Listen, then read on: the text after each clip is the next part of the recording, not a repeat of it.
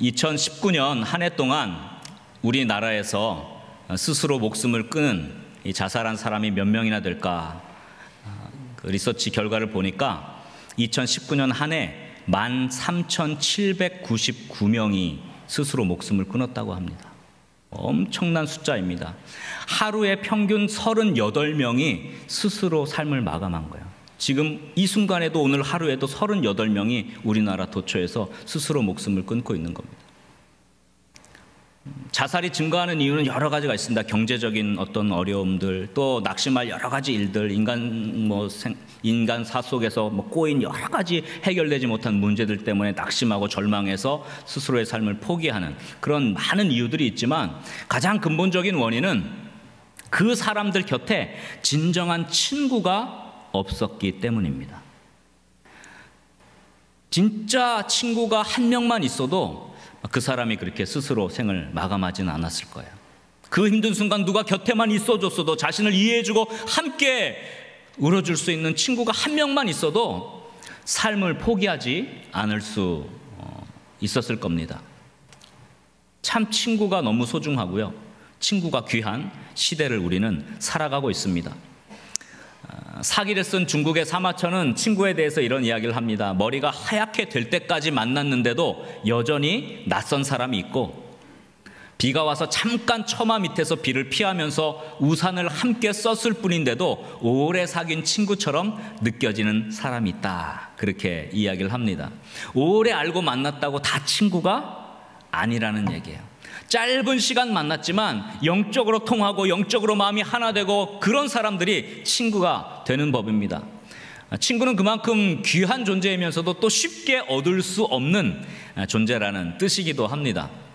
19세기의 철학자였던 그 데이비드 소로우가 이런 말을 했어요. 친구는 내가 선택한 가족이다. 그랬어요. 우리가 혈연으로 어, 가족은 맺어지지 않습니까? 선천적으로 이것은 맺어진 겁니다. 깊은 관계죠. 가족이 얼마나 깊습니까? 그런데 친구도 그에 못지않게 어떻게 해요? 후천적으로, 영적으로, 마음으로 깊이 맺어진 가족 같은 그런 관계가 바로 친구라는 것입니다. 진정한 친구가 있다는 것은 어쩌면 때로는 피를 나눈 가족들보다 진정한 친구가 더 깊은 유대가 있을 수 있어요. 그리고 함께 살아갈 용기를 줄 수 있는 최고의 또한 선물이 이 친구라 이렇게 생각을 할 수 있습니다.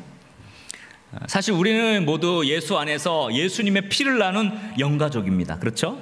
영가족. 가족 간에도요, 친구 관계가 중요한 거예요. 부모와 자녀 간에도요, 친구가 되어줘야 되고요.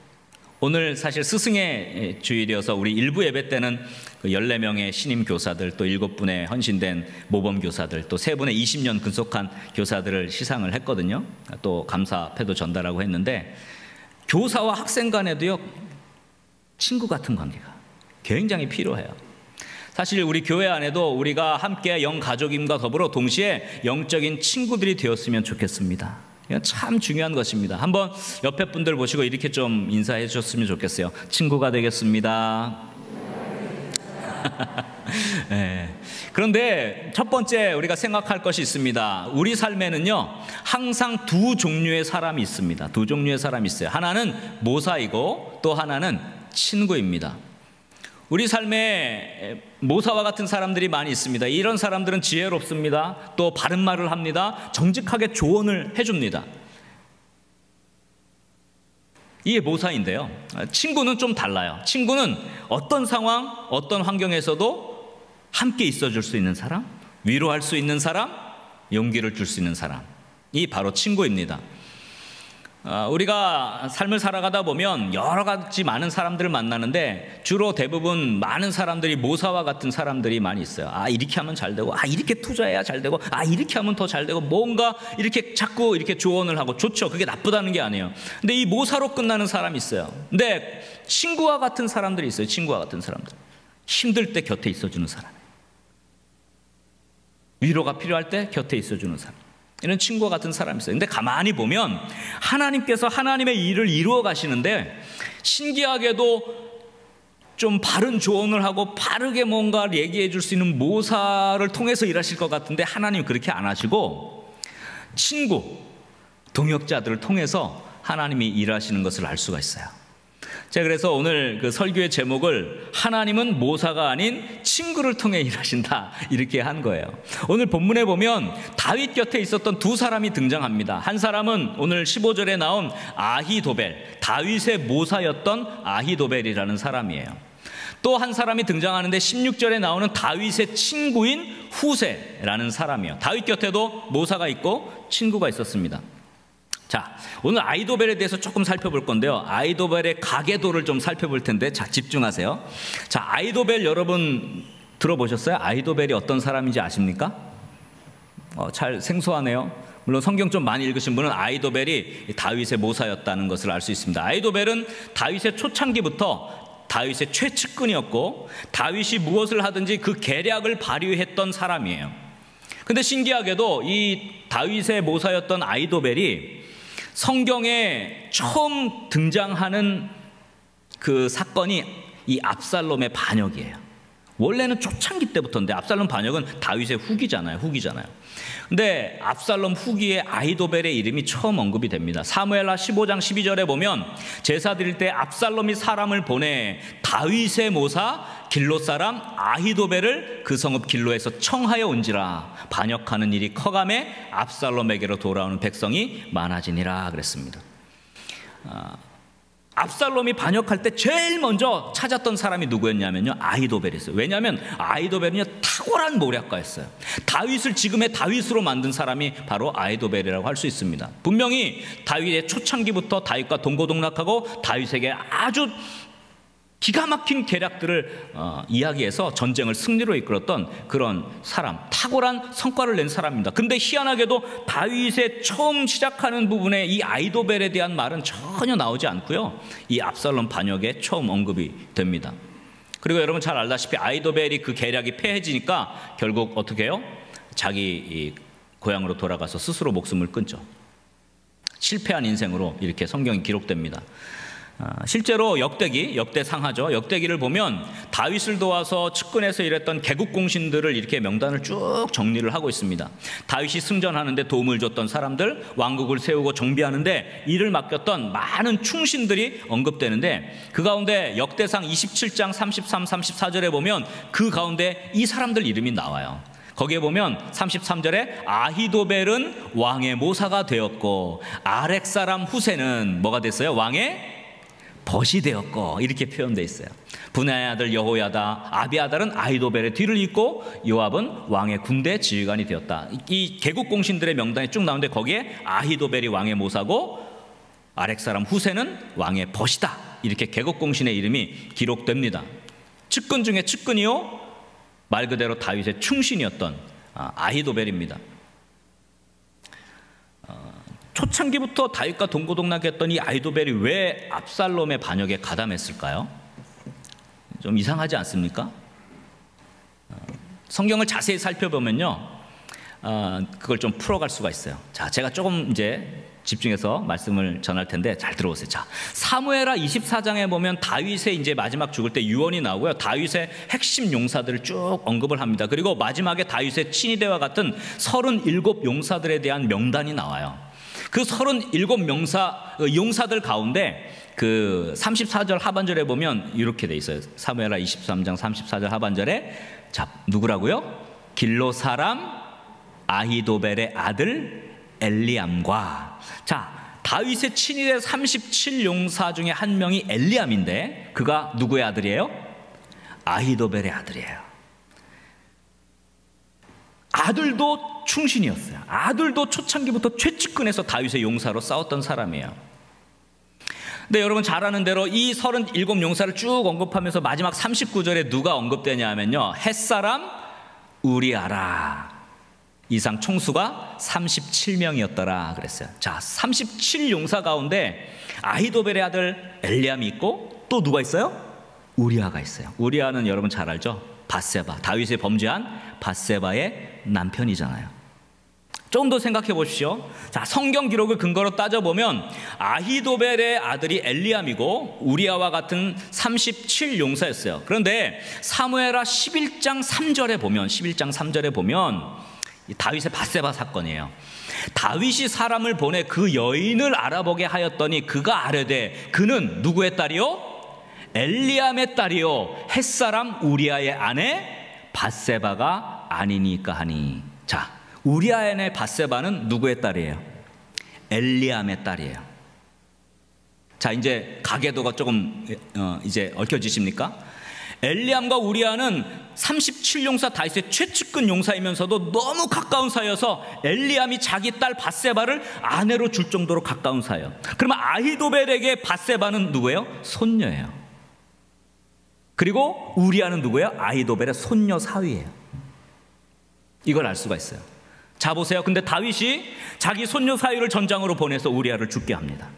그리고 자기 손녀 딸을 취해서 아내로 삼아 버립니다.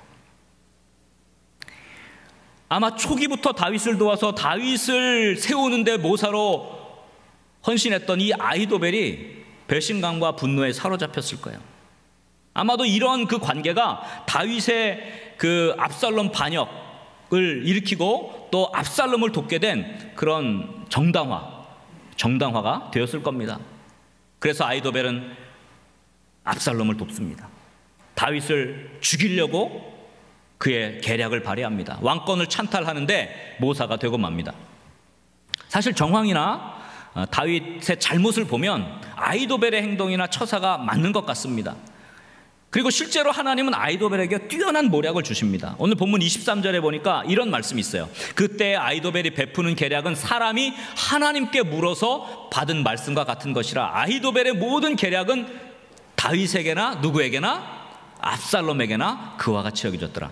아이도벨의 모략은요 하나님께 물어받은 것이기 때문에 다윗에게 했던 계략도 하나님의 계략이고 압살롬에게 했던 것도 하나님의 계략이에요. 너무 탁월한 모세였어요. 그래서 아이도벨이 이 압살롬의 반역을 도우면서 처음 했던 것이 뭐냐면 어, 다윗의 후궁들을 어, 이스라엘 백성이 보는 가운데서 어, 겁탈하라 이렇게 했어요. 사실 굉장히 불, 불편한 거잖아요. 그게 오늘 나온 20절부터 22절의 내용이 바로 그런 내용이에요. 근데 실제로 이 계략은 다윗이 바세바 사건을 통해서 죄를 지었을 때 하나님께서 선지자 나단을 통해서 꾸짖으시면서 말씀한 그 내용이 이루어지는 거예요. 이걸 전제로 하고 있습니다. 사무엘하 12장 10절 이하에 보면 이렇게 돼 있어요. 예, 다윗의 죄를 짓고 난 다음이에요. 음, 나단이 합니다. 이제 내가 나를 업신여기고 햇사람 우리 아내를 빼앗아 내 아내로 삼았은즉 칼이 내 집에서 영원토록 떠나지 아니하리라 하셨고 11절에 여호와께서 또 이와 같이 이르시기를 보라. 내가 너와 내 집에 재앙을 일으키고 내가 내 눈앞에서 내 아내를 빼앗아 내 이웃들에게 주리니 그 사람들이 내 아내들과 더불어 백주에 동침하리라. 12절 너는 은밀히 행하였으나 나는 온 이스라엘 앞에서 백주의 일을 행하리라 하셨나이다. 사실 하나님의 그 징계가 이루어진 거나 마찬가지예요. 이게 아이도벨의 계략을 통해서 된 겁니다. 아이도벨은요 이렇게 하나님께 계략을 받아 사는 사람인 게 분명해요. 근데 중요한 게 있어요, 여러분. 이 아이도벨이 다윗과의 신의를 저버리고 어, 압살롬을 돕는 게 일말 정당성이 있습니다. 그래서 손녀 사이를 죽이고 손녀를 빼앗아간 다윗의 범죄를 심판하는데 내가 쓰임 받겠다. 맞습니다. 그런데 희한하게 희한하게 하나님께서 아이도벨 편을 끝에 들지 않으세요. 정말 중요한 시점에서 그의 계략을 패하시고 누구의 계략을 선택하냐면요. 후세의 계략을 선택하게 하십니다. 사무엘하 17장 14절에 보면 이렇게 돼 있어요. 압살롬과 온 이스라엘 사람들이 돼 아렉 사람 후세의 계략은 아히도벨의 계략보다 낫다 하니 이는 여호와께서 압살롬에게 화를 내리려 하사 아히도벨의 좋은 계략을 물리치라고 명령하셨습니다라. 아히도벨은 이제 다윗이 도망 나갔습니다. 그때 아히도벨이 지금 나에게 군사 주시면 지쳤을 때 쫓아가서 다윗만 죽이면 끝납니다. 그랬어요. 그때 압살롬이 어, 그 후세에게 물어봅니다. 다윗의 친한 친구니까 당신이 잘 알 거 아니냐? 얘기해봐라. 다윗은 용사입니다. 그에 있는 사람들도 용사입니다. 지금 가면 그들이 성이 나 있기 때문에 안 될 겁니다. 우리가 전세를 완전히 장악해서 완전히 몰아붙여야 됩니다. 라고 조금 유예합니다. 그 계략을 받아들여요. 그래서 다윗은 목숨을 건져서 나루를 건너서 살게 되고 나중에 전쟁에서 승리하게 되죠. 결국은 아이도벨이 자기의 계략이 받아들이지 않으니까요. 자기 고향으로 돌아가서요. 짐을 다 정리하고 집 정리를 하고 스스로 목을 메어서 죽고 맙니다. 아이도벨은 모사는 되었지만 친구가 되지 못했어요. 또 아이도벨 자신에게도 친구가 없었어요. 다윗의 모사로 큰 역할을 감당했지만 자신의 행동이 정당하다고 믿었지만 그러나 다윗의 그 신의를 저버리고 압살롬 반역에 동참한 아이도벨은 아, 최후가 좋지 않았습니다. 아이도벨은 뛰어난 모사는 되었지만 좋은 친구는 못 되었기 때문에 그렇습니다.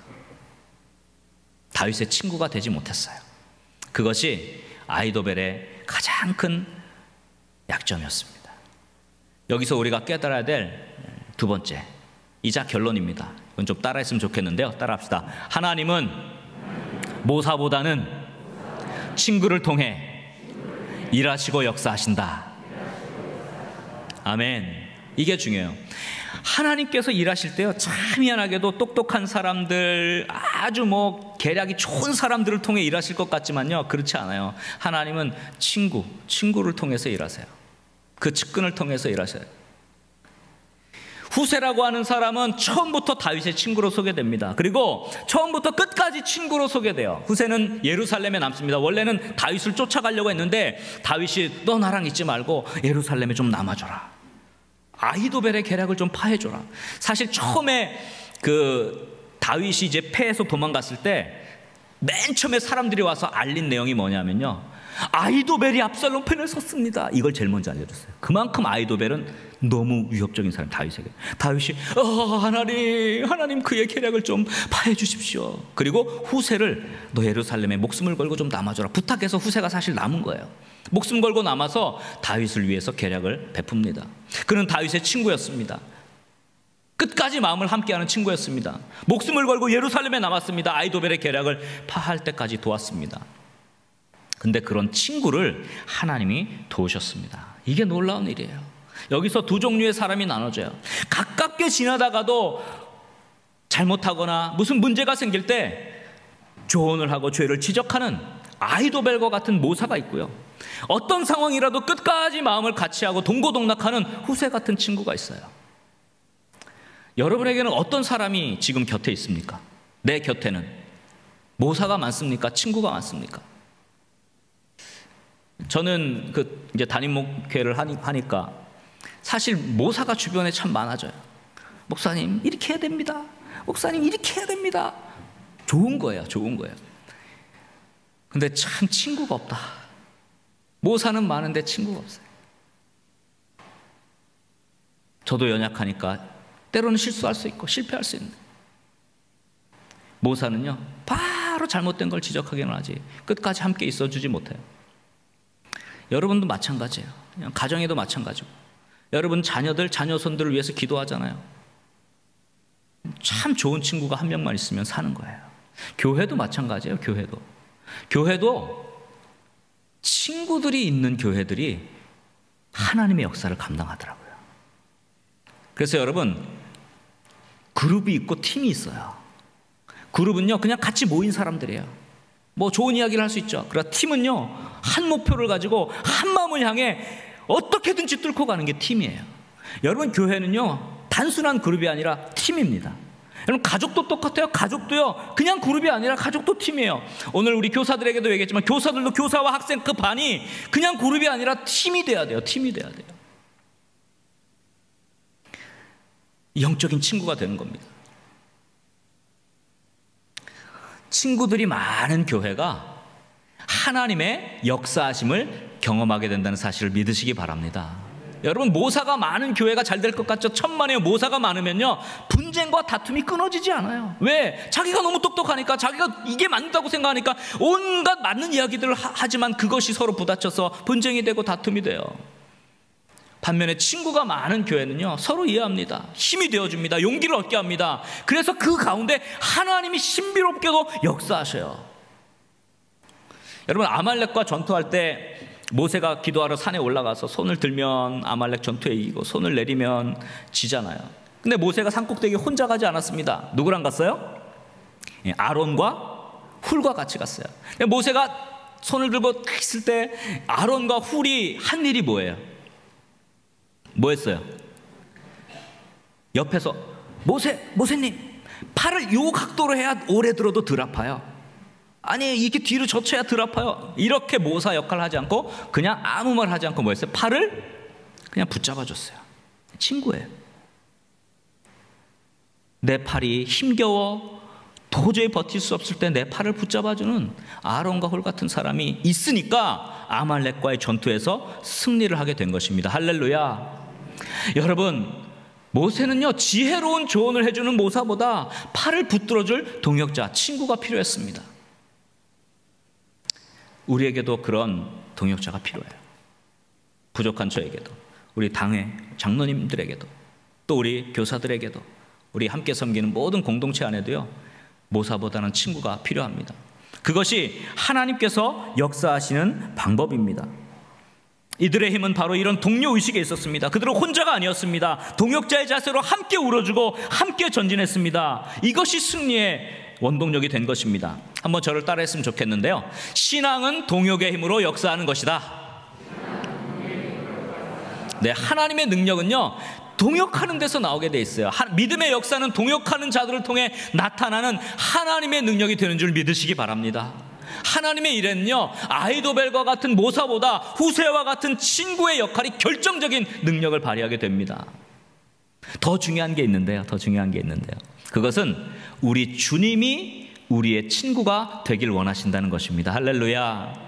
주님이 우리에게 말씀하셨어요. 요한복음 15장 15절 한번 다 같이 읽겠습니다. 이제부터는 너희를 종이라 하지 아니하리니 종은 주인이 하는 것을 알지 못함이라 너희를 친구라 하였노니 내가 내 아버지께 들은 것을 다 너희에게 알게 하였습니다. 주님이 우리를 뭐로 불렀어요? 친구로 불러주셨어요. 제가 오늘 마지막에 부를 찬양 제가 좋아하는 찬양이요 88장 여러분 잘 알죠? 내 진정 사모하는 친구가 되시는 구주 예수님은 아름다워라 내 마음이 아플 적에 큰 위로 되시며 나 외로울 때 좋은 친구라. 또 제가 2절, 2절 참 좋아하는데요. 온 세상 날 버려도 주 예수 안 버려 끝까지 나를 돌아보시니 주님은 우리의 참 친구가 되어 주십니다. 세상 사람들 버려도 우리를 버리지 않으세요. 끝까지 나와 함께 하십니다. 주님은 우리의 친구이시기 때문에 우리 마음이 아플 때 큰 위로가 되시고 외로울 때 좋은 친구가 되어주시는 줄 믿으시기 바랍니다. 주님은 우리의 친구이시기 때문에 온 세상 날 버린다 할지라도 주 예수님은 끝까지 안 버리고 끝까지 나를 돌아보시는 줄 믿으시기 바랍니다. 그러기에 주님은 우리가 주님을 닮아 서로 친구가 되길 원하십니다. 친구는 서로 우리 성도 간에도 친구가 됐어요. 이게 나이가 맞는 친구를 말하는 거 아닙니다. 영적 친구는요, 아주 나이 많은 사람과 아주 젊은 사람도 영적 친구가 될 수 있습니다. 부모와 자녀 간에도 영적 친구가 될 수 있어요. 여러분, 부모가 자꾸 모사가 되려고 하면 안 돼요. 부모가 자꾸 모사가 돼 자녀들한테 이거 해야 돼, 저거 해야 돼. 틀린 건 아니지만, 그러나 부모는 모사가 되기보다는요, 친구가 되어줘야 돼요. 그래야 아이들이 바로 가는 거예요.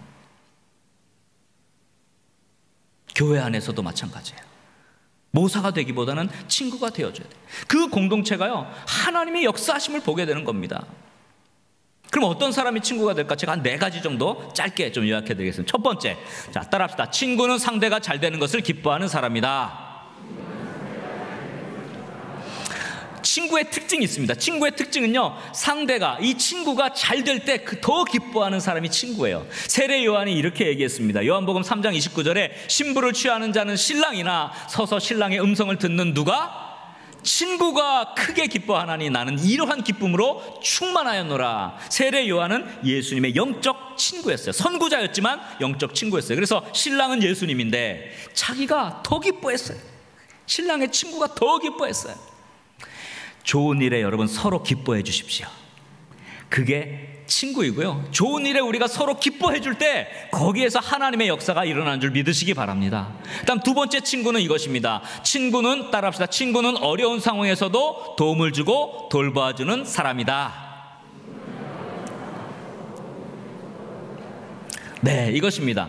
사도행전 24장 23절에 보면 이렇게 얘기합니다. 백부장에게 명하여 바울을 지키되 바울이 이제 구금됐을 때 이야기예요. 자유를 주고 그의 친구들이 그를 돌보아 주는 것을 금하지 말라 하니라. 바울이 구금됐을 때 그의 친구들이 많이 와서 도와줬어요. 어려운 일을 당할 때 곁에 있어주는 사람, 도움을 주는 것, 그것이 친구입니다. 여러분, 어려울 때 곁에 있어 주십시오. 자녀들이 힘들 때 곁에 있어 주십시오. 우리 성도들 간에 힘들 때 곁에 있어 주십시오. 그때 거기에서 역사가 일어난 줄 믿으시기 바랍니다. 세 번째, 세 번째. 저를 따라하시면 좋겠습니다. 친구는 서로의 상황을 늘 궁금해하고 무난하며 안부를 묻는 사람이다. 친구는 서로의 상황을 궁금해하고 무난하며 안부를 묻는 사람이다. 요한 3서 1장 15절에 이런 말씀이 있어요. 평강이 내게 있을지어다. 여러 친구가 내게 무난하느니라. 너는 친구들의 이름을 들어 무난하라 그랬어요. 이 친구라는 단어 잘 쓰여지지 않는다는데요. 이 사도 어, 요한이 요한 3서에서 친구들의 이름을 들어 무난하고 친구가 무난한다 그런 표현을 썼어요. 여러분 친구는요 자주 안부를 물어보는 거예요. 늘 보고 싶고 도대 요즘 어떻게 지낼까 이런 마음이에요. 이런 마음. 그래서 그렇게 서로 궁금한 마음으로 연락하고 어떻게 지내냐 이렇게 서로 소통할 때 그 안에 영적인 놀라운 역사들이 일어나는 거예요. 치유의 역사들이 일어나는 거예요. 음. 그래서 여러분 서로 오늘 이제 돌아가서 궁금한 사람들 다 좀 전화 좀 해주세요. 어떻게 지내? 코로나인데 어떻게 지내? 아, 한 번씩 연락해 주세요. 저도 이번 주간에 어, 디 뭐 지방에 계신 성도님들한테도 연락이 많이 왔어요. 목사님 어떻게 지내세요? 연락이 많이 왔더라고요. 저도 이제 연락도 많이 했고 했는데. 네 번째. 따라합시다. 친구는 목숨을 내어줄 정도로 사랑하는 사람이다. 네, 요한복음 15장 13절 이하에 보면 이렇게 말했습니다. 사람이 친구를 위하여 자기 목숨을 버리면 이보다 더 큰 사랑이 없나니 너희는 내가 명하는 대로 행하면 곧 나의 친구라 그랬습니다. 주님이 우리의 친구가 되셨기 때문에 우리를 위해 십자가의 목숨을 버려주셨어요. 아렉 사람 후세는 자기의 목숨을 걸고 목숨의 위협을 무릅쓰고 예루살렘에 남아서 다윗을 도왔어요. 그게 친구입니다. 서로 사랑하는 거죠. 깊이 사랑하는 거죠. 그 안에 하나님의 역사가 일어납니다. 그러므로 여러분 좋은 친구를 만들도록 노력할 뿐만 아니라 여러분들이 좋은 친구가 되어줄 수 있기를 주의 이름으로 간절히 축원합니다. 서로에게 친구가 될 때 그 공동체는 소망이 있습니다. 그 가정은 소망이 있습니다. 그 모임은 소망이 있습니다. 그 교회는 어떠한 어려움도 극복하고 이겨나가도록 하나님이 역사하시고 하나님이 함께 하실 것입니다. 할렐루야. 그래서 부부끼리도요, 부부지만 영적으로는 친구가 돼야 돼요. 기뻐해주고 어려울 때 같이 있어주고 늘 안부도 물어주고 정말 목숨을 다해 살아. 부모와 자녀도 친구가 되어줘야 돼요. 우리 교회 성도님 가운데 나이 많으신 어르신들 계신데 또 그 어르신들과 또 저도 이렇게 친구, 영적 친구 같은 느낌이 있는 분들이 있단 말이죠. 참 귀한 것 같아요.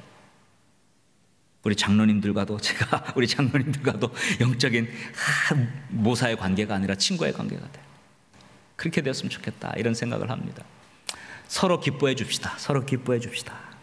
그리고 서로 도와줍시다. 어려울 때 곁에 있어 줍시다. 좀 안부를 서로 물어줍시다. 그리고 정말 내가 조금 어, 힘들어도 함께 해줄 수 있는 그런 사랑을 나눌 수 있기를 간절히 소원합니다. 그 가운데서 하나님께서 역사하실 것입니다.